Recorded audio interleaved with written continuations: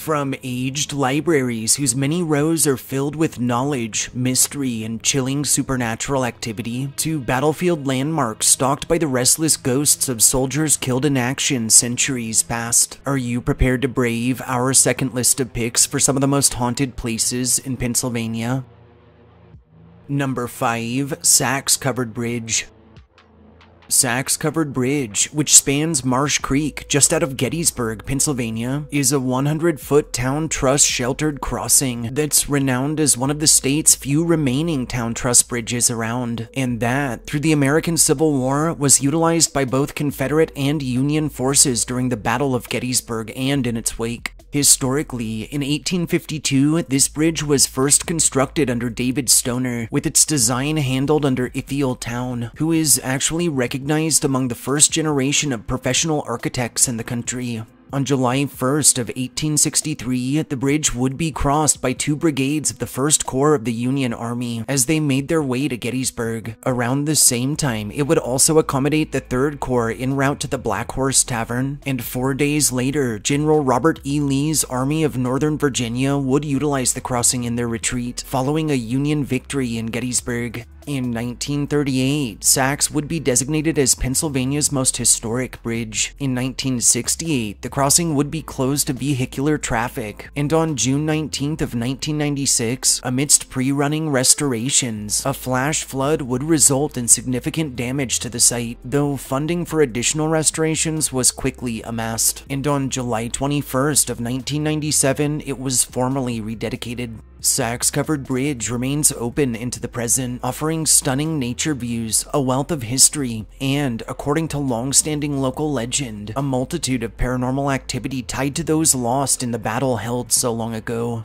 The most popular tales surrounding Sachs intertwine with history to tell of three Confederate soldiers who were executed on sight. Some claim these soldiers were young, scared men who'd attempted to desert, others that they were Confederate spies clad in Union garb who were found out, and others still that a darker scandal was at play, resulting in the three being hanged from the bridge's support beams so that all passing Confederates might more fully appreciate their loss. To date, many crossing Sachs covered bridge after dark have reported encountering the ghosts of the three soldiers, dangling by the neck from the bridge, often writhing, choking, and gasping for the air they'll never truly breathe again. Also reported near Sachs are disembodied heads sighted flitting about, phantom wafts of cigar smoke, and the unnerving feelings of being followed, watched, or even of being tapped by a presence unseen.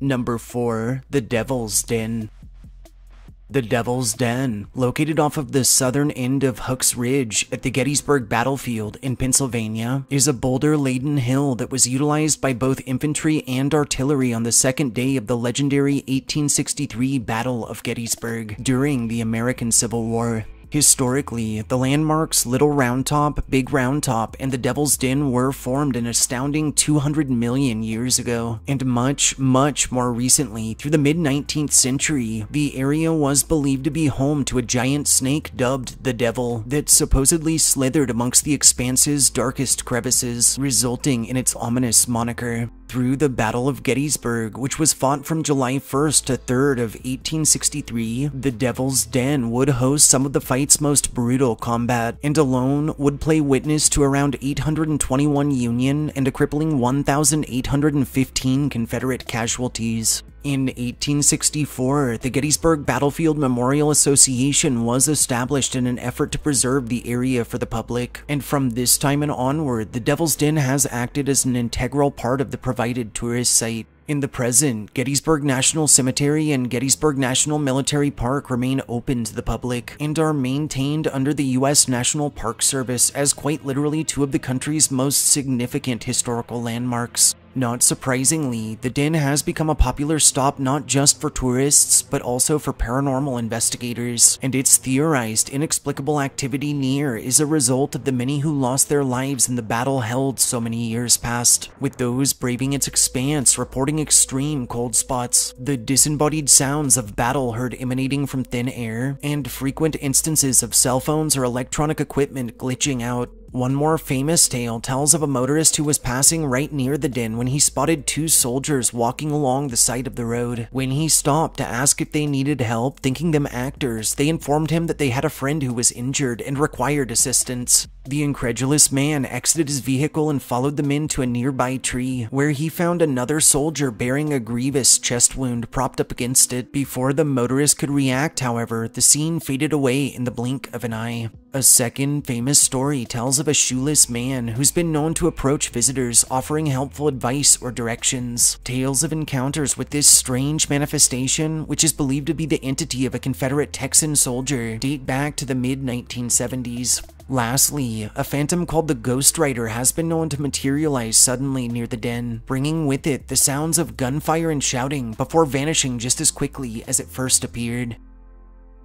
Number 3. Harrisburg State Hospital Harrisburg State Hospital, or formerly the Pennsylvania State Lunatic Hospital, and located off of Cameron and Maclay Streets in Harrisburg, Pennsylvania, is a former medical campus recognized as the first public facility to welcome and house the disabled. Historically, construction of the main building of what was then called the Pennsylvania State Lunatic Hospital was completed in 1851 and would house its administration, staff, and patients all on site. An adjacent 130 acre farm would be utilized for work therapy while providing the hospital with fresh foods and livestock. And between the years of 1893 and 1912, the whole of the expanse was reconstructed. At its peak, the Penn State Lunatic Hospital would boast over 70 buildings stretched over a 1,000 acre campus. In 1921, the site would reestablish itself as Harrisburg State Hospital, and until the addition of newer structures through the 1930s, both female and male sides of the institution would mirror each other almost identically. Through the late 20th century, Harrisburg's patient populace would begin to dwindle, and on January 27th of 2006, the site would cease all operations operations. In the present, the hospital's campus has been reduced to 295 acres, which still contains over 50 buildings and holds space for a number of state agencies and offices. On a side note, this property is not open to the public, and while a number of urban explorers and daredevils have made their way into various abandoned buildings, dangers within said age structures are very real, so we ask our viewers not to follow suit. In addition to supernatural activity believed to be a result of the many who lived and died within its walls, the old asylum also boasts underground tunnels, a morgue, and a graveyard that's since been moved elsewhere, which, if we've learned anything in our studies, is an almost surefire way to awaken all sorts of really nasty things you probably don't want to awaken. The early cemetery on hospital grounds, which contained around 230 bodies, was removed during restorations in 1927. Disturbingly, it's unclear if all remains made it safely to the new yard, and into more recent times, several have reported run-ins with what are believed to be the restless spirits of those whose graves were desecrated, appearing seemingly confused as they search for their proper resting places. Reported across the whole of Harrisburg's campus are objects sighted moving on their own, shadowy figures that stalk the living, disembodied footsteps and screams heard from empty spaces, and strange knocking and scratching noises that emanate from within walls. Lastly, the hospital's most actively haunted areas are rumored to be its former morgue, basement, and tunnels, where many have told of watching blood-like stains appear on the floors out of nowhere, and of a constant sense of impending dread. Number 2. The Carnegie Library of Homestead the Carnegie Library of Homestead, located off of East 10th Avenue in Munhall, Pennsylvania, is a public library recognized as the sixth of such libraries in the country to be founded and commissioned under Andrew Carnegie, as the seventh to open its doors to the public, and is the third oldest Carnegie Library to continuously operate out of its original structure. Historically, this aged institution was first constructed in 1898 on an elevation overlooking the campus of Homestead Steelworks, which had previously played host to the 1892 labor strike in which Pinkerton agents battled against union workers. Despite its moniker, the Carnegie Library of Homestead wouldn't actually act as a branch of the Carnegie Library of Pittsburgh, but rather as its own entity. While Andrew Carnegie would request alternative funding for his other projects, conversely, Homestead would be funded wholly off of his local plant operation. And following the 1901 closure of U.S. Steel, he would actually establish a trust to better support the facility.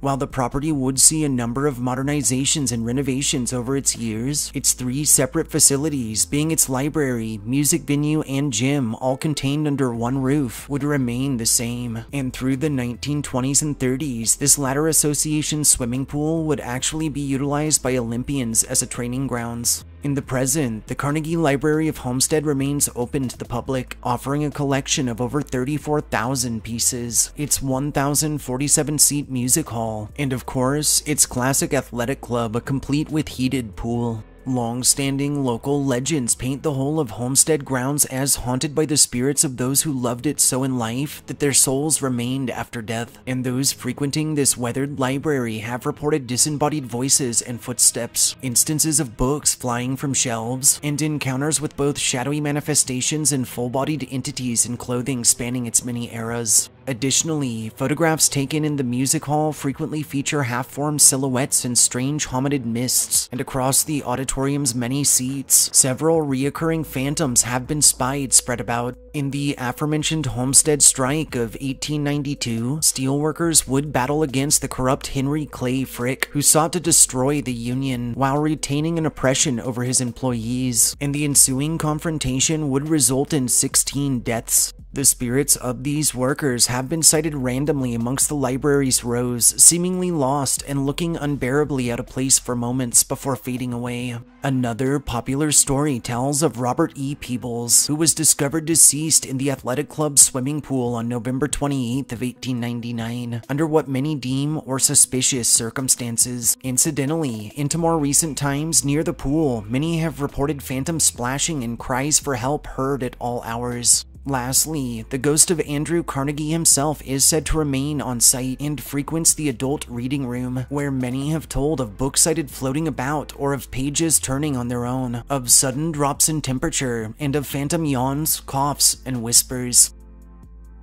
Number 1. Fort Mifflin Fort Mifflin, also recognized as the Mud Island Fort and originally as the Fort Island Battery, and located on Mud Island in the Delaware River just below Philadelphia, Pennsylvania, is a historic defense boasting the title of being the oldest active military base in the whole of the United States, and the only base that predates the Declaration of Independence itself. Historically, in 1771, while work was started on a fort on site, it would eventually grind to a halt due to lack of funding and guidance. In autumn of 1777, the British Army would bombard and occupy the defense through their conquest of Philadelphia. Until 1793, what remained of the fort would lie dormant and forgotten, after which a full reconstruction was issued. And following this reconstruction's completion, the defense was redesignated under the Army as Fort Mifflin, in honor of Thomas Mifflin, a Continental Army officer and in 1795 the first governor of an independent Pennsylvania.